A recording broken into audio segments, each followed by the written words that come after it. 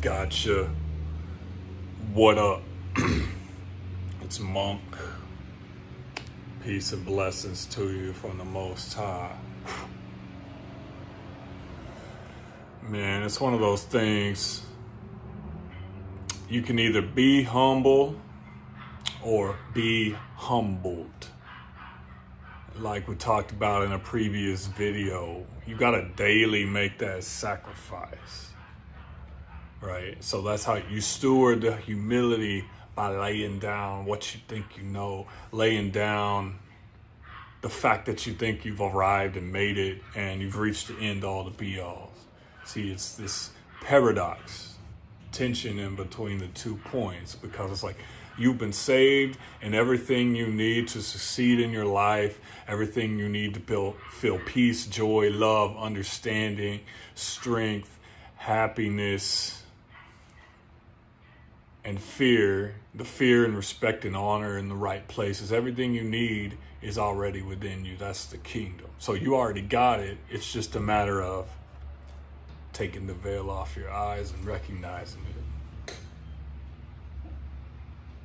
But the thing about it is, you already have it all, but you also are developing and growing in your awareness. So it's this paradox, right? Of yes, you already have it all, and there's nothing you can do to obtain it. But two, you're undertaking a process of discovering how much, how deep it all goes. And as you're discovering those things, they are all a part of you. So it's really you're discovering how deep the well of your own self, of your own being goes.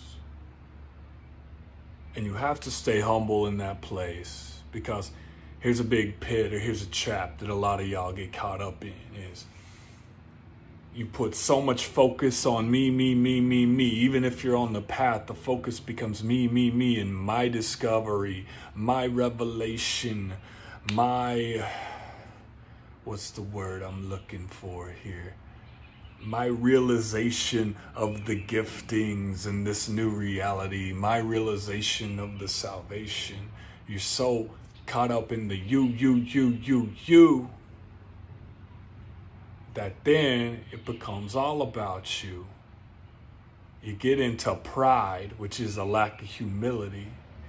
And then you forget to see that the depths of yourself that you are uncovering, every person you encounter has those same depths. So if you're not going to make that assumption about yourself, do not make it about someone else Right, that's what Jesus talks about. He says, Judge not, lest you be judged yourself. You have to make judgments. But the further you walk in this, the more you realize that it's according to what you're judging to. Right? You have to make judgments about anything. You woke you setting your alarm clock and waking up this morning was a type of judgment. You deciding what food to eat or what not to eat is a type of judgment. Okay, you have to make judgments. And it's not even about making judgments about under pe- other people, but it is understanding that the way you judge or the way you look at, the way your eye perceives the person standing across from you is actually a reflection of how you see yourself. So if you make that judgment about that person what you're actually doing, if it's a negative judgment, if it's a bad judgment, if it's a limiting judgment, if it's not based in truth. Most of those judgments are rooted in the ego and they're rooted in pride and it's a lack of humility. And so what you do is you actually put a limiting factor on your own growth. And you're making a choice to do it by casting an unrighteous judgment, a judgment that's not based on the heart and truth and courage and all of these fruits of the Spirit stay humble because when that pride takes a hold of you, if you're on the path and you've submitted yourself to that, it's going to be boom, iron scepter. So you can submit to that hard judgment. You can submit humbly, and a lot of times humility hurts, But again, don't look at it as like, I'm a bad person or I did a bad thing. No, all humility is when it hurts, is like, hey, you are growing, submit and sit under it. It's going to allow you to grow and it's going to allow you to be a more service to the people in your sphere of influence. And if you submit yourself to that striking, you're not going to keep ending up in circumstances that require an extreme measure for you to be humble. So if you just start with a place of humility, you're going to make the ride a lot smoother. It's going to be a lot more enjoyable for you. You're going to encounter some pain. You're going to encounter some discomfort, man.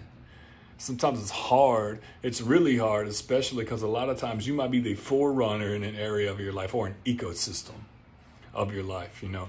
So an ecosystem that would be like an area like your workplace or an area where you have expertise. You might be the front runner in that ecosystem. Someone else might get something, but you don't get to take credit for it. So that that's true humility. So sit with that, man. Don't let that pride work itself in you. And I would say in this time, we got a lot of weird opinions going on. A lot of y'all are showing y'all's butts with y'all's opinions and where you're at and pride and humility. I mean, this all could be some grand conspiracy. It all could not be. But what difference does it make either way when you cast that opinion forward? What you're doing is creating a layer of separation between yourself and the people you so allegedly say you want to help. Right? You're putting yourself on this pedestal and looking down on the poor lowly serfs down there, the poor ignorant people, whatever. Their opinion is not your responsibility. Your mandate is to love them, so love them. Humble yourself. Boom. Stay humble. Don't let pride get you, man. This is Monk. Peace and love from the Most High to you. Out.